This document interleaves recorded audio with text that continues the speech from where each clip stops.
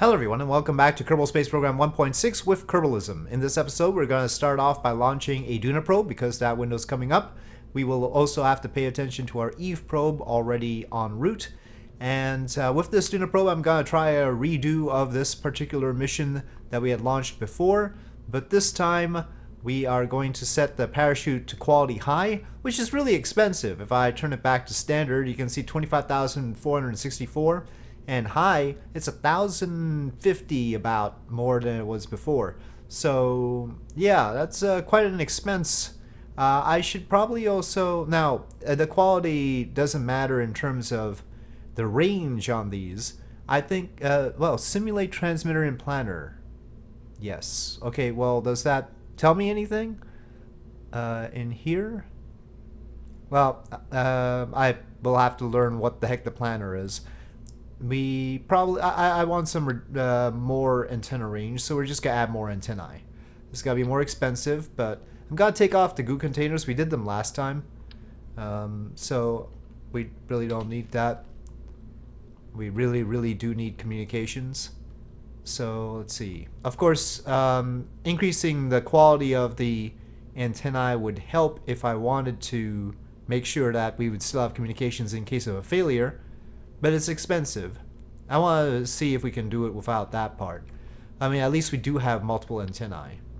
we are carrying probably too much ablator, but that's fine. Delta V wise, we were more than alright last time. Okay, so... Uh, oh yeah, and uh, uh, somebody suggested all y'all. I have used all y'all before. I should put all y'all in, but I have not put all y'all in yet. And I think it'll be alright. We'll call this Duna Probe 2. And let's action group the antennae and everything. I'll put it on action group 2. So it's just temperature and radiation, but uh, we don't actually have to do any science. All we have to do is come back. So the science is superfluous in a way. Okay, I just got a message that we lost control of Eve Probe 1. Uh, people were talking to me about uh, orientation, and here's the problem with me and the orientation of things. I'm used to persistent rotation now. And that's because I've been using it in Realism Overhaul a whole lot.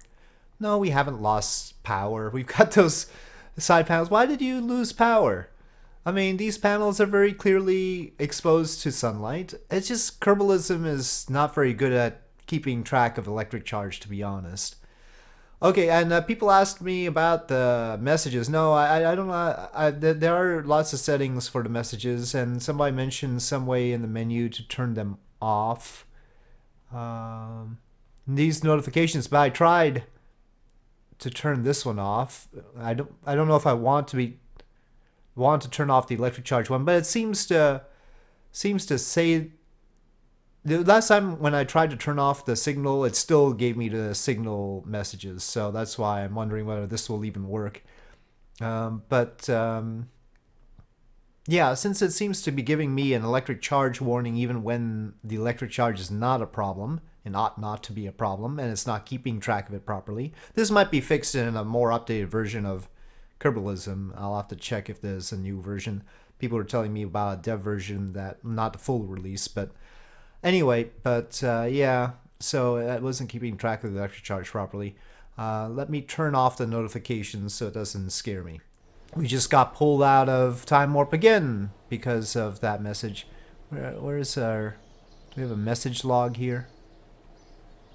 Well, if I actually go to it and we click on log, uh, once again, after we recharged and I made the change in the settings, it now says no more electric charge on Eve Probe 1 again. And it's probably to keep doing that. Um, I guess I'll have to make the... So the this setting over here did not work. But we presumably can do the single probe setting. And that is config, here battery, no messages. And somebody mentioned that if we don't repair the panels and such on our stations, they might get permanently broken. That's probably alright. I plan to send up large solar arrays to each once we unlock the large solar panels. So if we have busted solar panels, we should also add KAS and KIS eventually. so that uh, Kerbals can just take off the solar panels that are busted. We don't have to keep them on. So there are a bunch of mods I'm contemplating adding, but I'm in no rush. I mean, you know. We still have to do some of the basics before we get into complicated things with KIS and KAS and such. Okay, here we are. Thrall is up. SAS on. MechJeb hid my windows again. I don't need surface info. Alright. And Smart ASS. Alright. Here we go. Launch.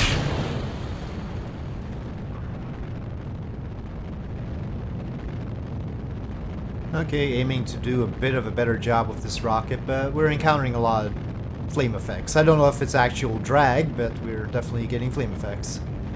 Uh, we'll stop it right about there and we'll coast. Alright, that's the end of that stage. Separation. Okay, that's a nice tight orbit to start off, and hopefully we'll have a nice efficient transfer to match it. There we go. Alright, focus view. So this will arrive in 278 days. That's a long while.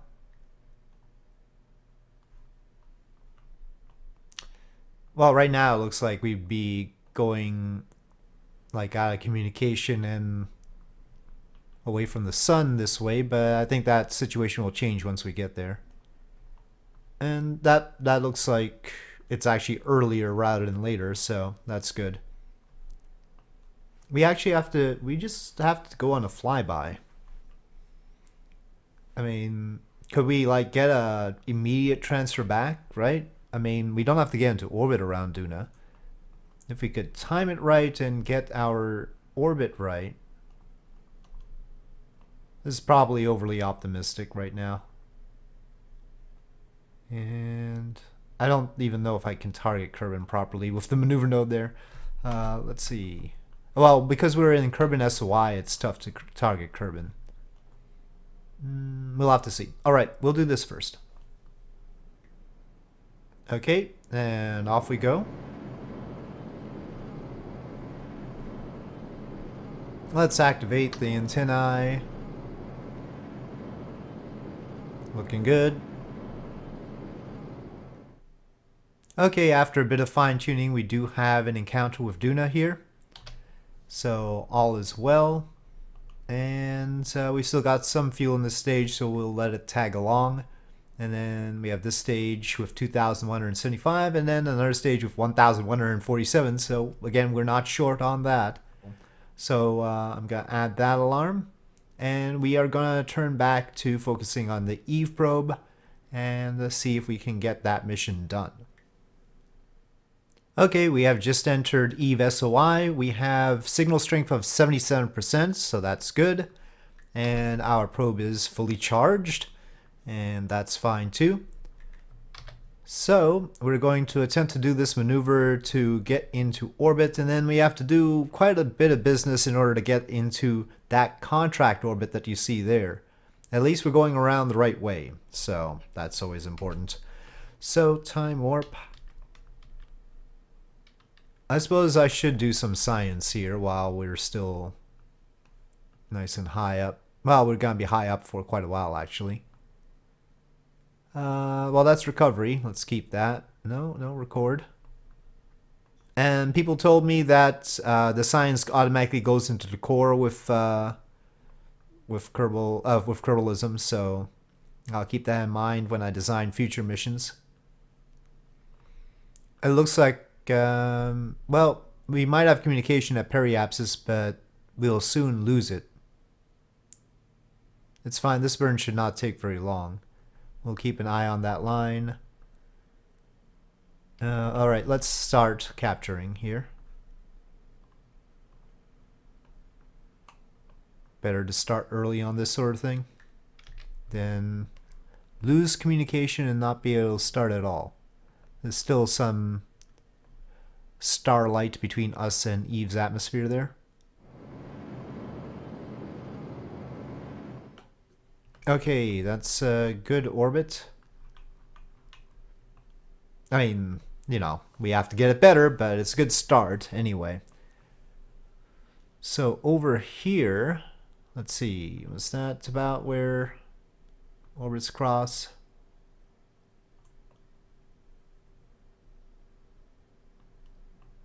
I think it's an okay location. We're gonna lift our orbit there. And we're gonna have to bring it in as well. And what we want is our apoapsis to touch the target orbit. Okay, well, that's a heck of a correction, but manageable. Oh, and while we're low over Eve, let's... Oh, well, I don't know if we are low over Eve. Let's get the Science Junior in this. Sort of mystery goo? Uh, near Eve, yeah. Good. Record and Science Junior. Record. Well, at least in terms of transmitting science, I think Kerbalism saves me from worrying about the electric charge, at least. So that's nice. It was a little bit ludicrous to, you know, lose electric charge by transmitting stuff. And they could just trickle it out at whatever speed is seems most appropriate. Well, don't let Eve's calmer, sort of lavenderish visage fool you. It is still a very dangerous place to actually visit. Though, you know, it takes a long time to actually get to the ground. That will do the trick. Okay, so then add apoapsis. We'll lift up We'll need to do a little bit of radial. We'll finally get to dump the terrier stage. Okay, we're not going to do Gilly science yet, even though we're in a pretty high orbit, and maybe I could finagle uh, encounter. We'll wait for another opportunity for that, if the system turns out alright. Alright. This is quite a high orbit to place something around EVAT. I don't know why they wanted it here, but if this is what they want and they want to pay us for it, is that good enough? Maintain stability for 10 seconds. Alright. Okay.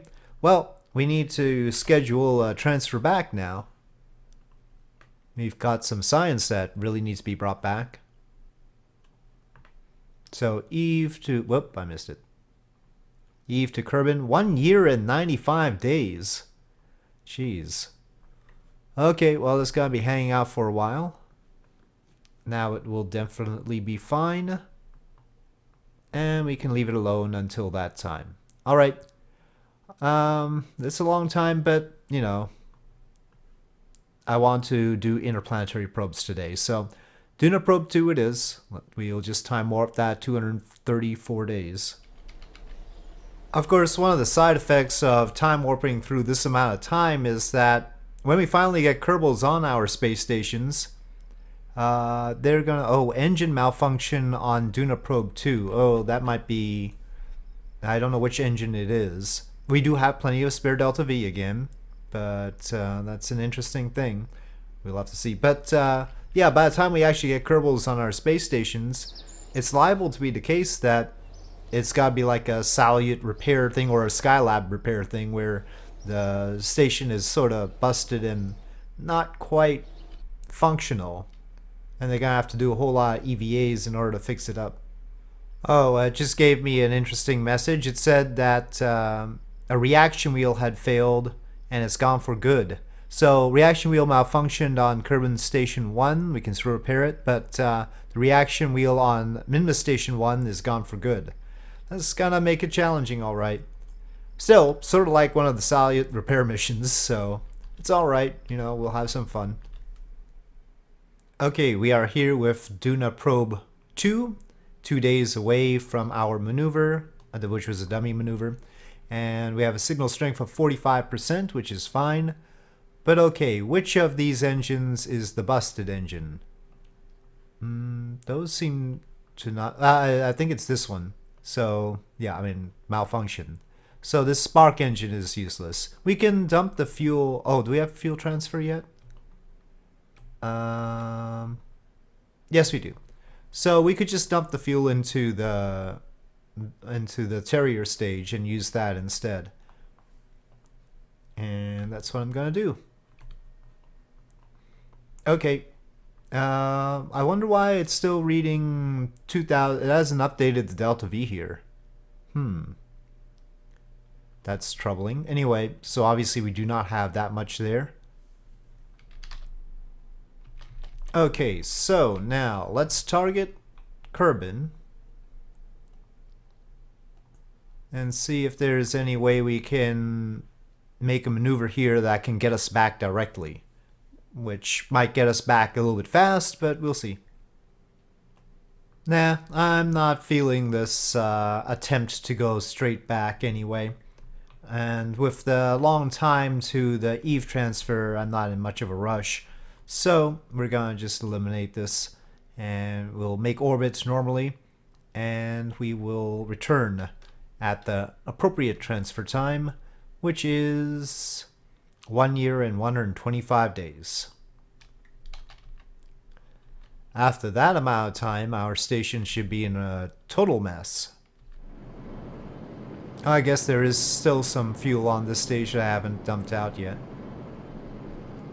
Okay, that should be low enough not to get interfered by Ike at. And I doubt there's any interesting science. We probably already did the thermometer and barometer. And we don't really need to do any additional science. So we'll just leave this be until that time. And I, I want to bring the Eve mission back. Okay, we're back with our Eve probe, and if we tried to transfer back from this orbit, we'd have to wait 15 days and that's because it's a very high orbit and it's a 30 day orbit so basically the transfer point the correct transfer point is on the opposite side of the orbit from us um I, I should have probably gotten into a lower orbit earlier if I wanted to avoid this so I guess we'll just wait we're piling up the malfunctions of course at the stations uh, we had an ECLSS malfunction on Kerbin Station 1, the solar panel, um, all sorts of stuff. So, next time will be repair day. We're going to send crews out to repair and properly occupy our stations. Bring plenty of food, water, and oxygen too. And maybe solar panels, maybe big solar arrays. Okay, here we go. Yeah, persistent rotation is sort of a nice mod. On the one hand, it causes more difficulty because you can't just time warp in order to stop rotations. But on the beneficial side, it uh, means that things can rotate constantly facing the sun.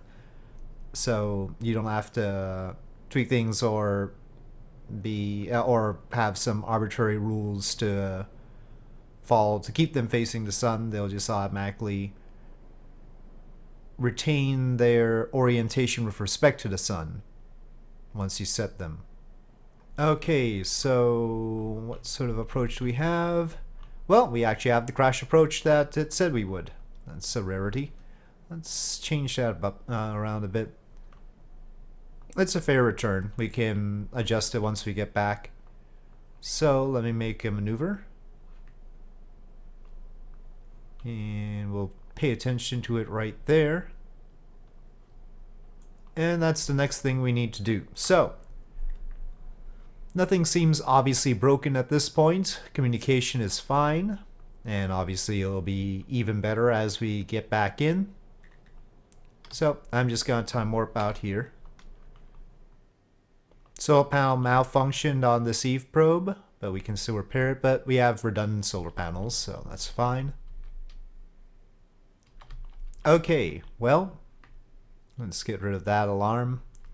We probably do want to go a little bit deeper into the atmosphere, so a few little bursts will do the trick. 26 kilometers is sort of my standard. And I see no reason why we shouldn't arm the parachute right now. So that is armed.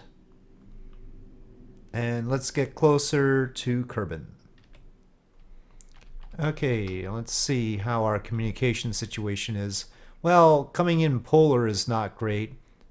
If we are close to the desert launch site and airfield there, we really do end up slowing down there, that'd be fine. But probably what we want to do is make sure our orientation is good ahead of time. We seem to have some communication with some center right there. I don't know what that is. But we should begin the staging process and the pre-programming of Smart ASS and everything. So, I'm just gonna dump this. It'll get disposed of. And retrograde. Okay, we still have communication at 140 kilometers. I'm retracting the antennae.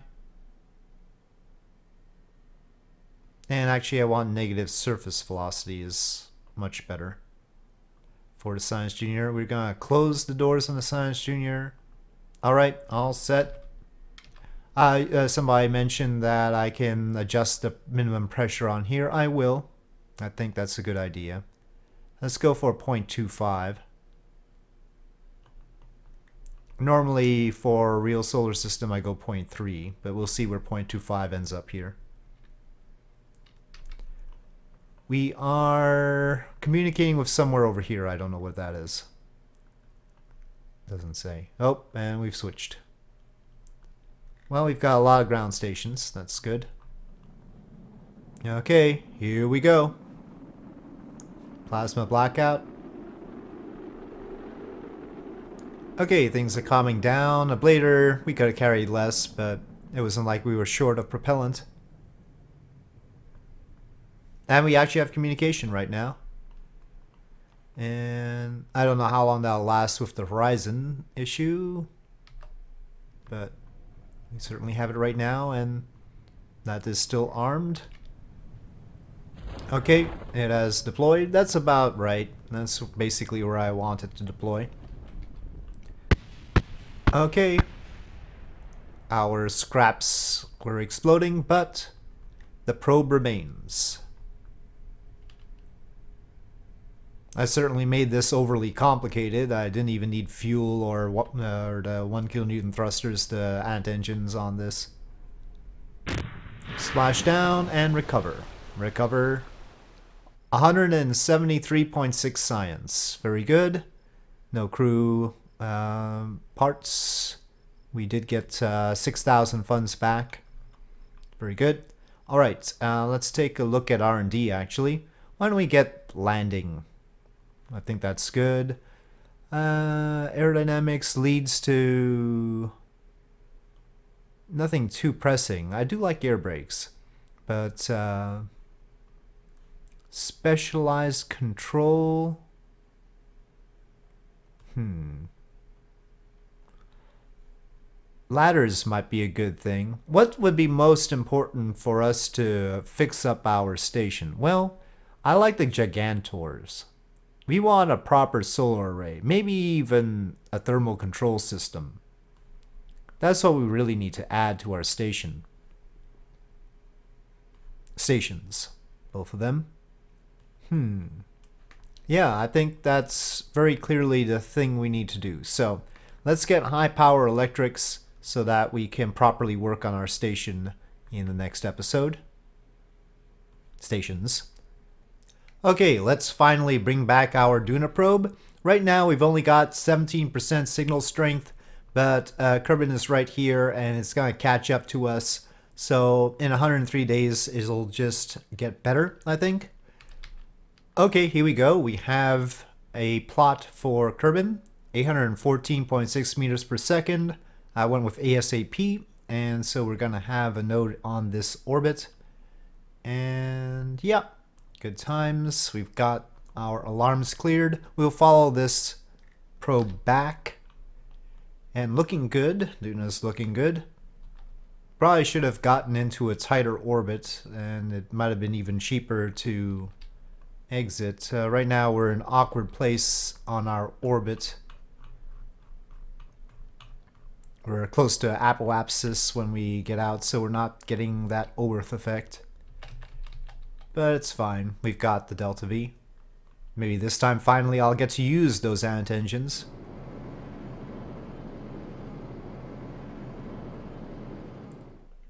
Okay, that's pretty good. Let's see what it got us.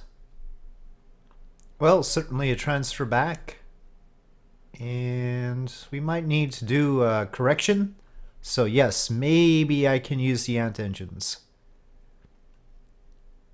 I'll deliberately do it inside Kerbin Sphere Influence instead of as a mid-course adjustment because I want to use the ant engine finally. Hopefully they'll still be working. Otherwise, we might be in trouble. I'll keep the Terrier just in case. Well, a bit of a risk, but everything else is fine, and it's on its way back. So, let's add that alarm. Okay, Duna Probe 2 has entered the Kerbin system, and I think it will be beneficial for us to do this burn right now. Uh, the ant engines have not failed, so that's good. Not that we need them. I forgot. I haven't transferred this fuel down, have I? Well, let's do that. Yeah, we got plenty of Delta V like that. There's another tank here, too. We may not get to use the ant engines this time either. Alas. Alright, here we go. The ignition. I just want a periapsis that's low enough. Okay, that's close enough to my usual 26 kilometers. So we will do that. ECLSS has failed on Kerbin Station 1. It's gone for good. We have a total of uh, three more. We've got four in each station. But that's that's leading me towards having KIS and KAS so that we can attach a new one there. We could carry a new one and attach one. The downside is that that's uh, those are part mods. So we will be introducing for the first time new parts into the game. Maybe I want to delay that. Well, looks like we'll be coming in on the nighttime side. Uh, let's begin separation procedures. Okay, separation. And we really don't need this anymore either. So... Is that right? Alright, set.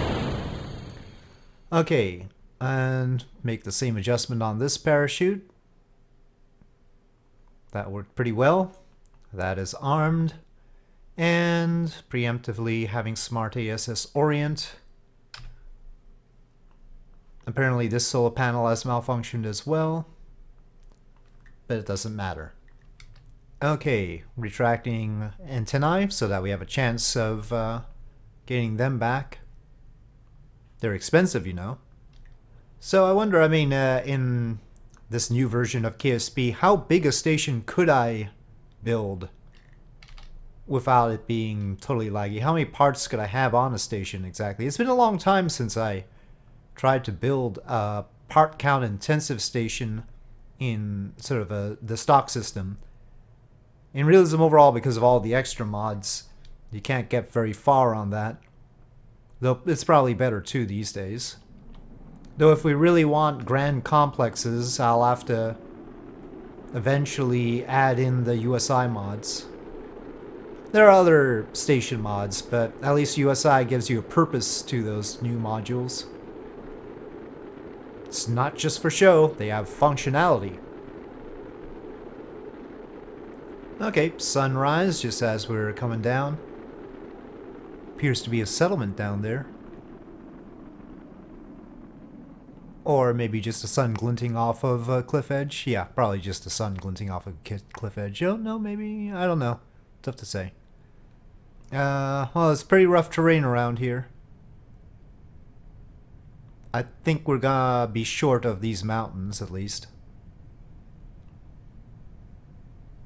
And the sun's setting again, because we're coming down the horizon. We still have communication over here. We're pretty low. There's apparently some sort of site right by. But we'll still lose it because of the mountains, I think. Or maybe not. Full parachute deployment is successful, 6 meters per second. The debris is getting destroyed by lithobraking. Oh, oh, oh, oh, it's, rolling, it's rolling. Oh, stuff got damaged. No, no, stop rolling. Oh, it's a cliff. Oh, no. Oh, no. Um, SAS, something. We still have communication. Oh, it's rolling down the mountain. It's rolling down. Uh, I think SAS is trying to stop it.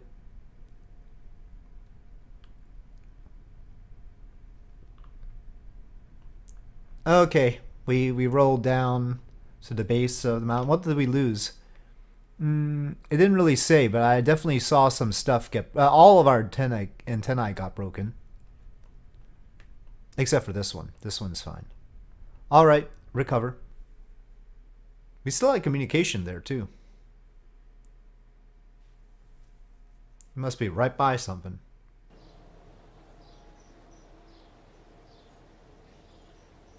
Okay, uh, well, we didn't do much science, and we certainly didn't have any crew. We're pretty far away from the KSC, 4,000 funds, uh, but did we fulfill the contract? Well, those uh, world's first. Okay, position satellite in a specific orbit of Eve we did. Explore Duna. Yes, we completed that contract. So, we are currently free from contracts. We've got a planet flag on the moon. Explore Ike, finally. So there are options, but really, we need to fix up our stations, don't we? Oh, this, this is pretty good. New surface outposts on Duna. Pretty lucrative, but motorized wheels, jeez. Okay, yeah, we need to fix up our stations. They're in pretty bad disrepair. Um, we don't really have enough science to unlock like heavier rocketry or stuff like this. We're getting there, but we'll need more science for that. But uh, next episode is not going to be a science gathering episode. It's going to be an engineering episode with engineers repairing things. So with that, thank you for watching. I hope you enjoyed this video. If you did enjoy this video, please do press like. If you have any comments or suggestions, please leave them in the comment section below, and I'll see you next time.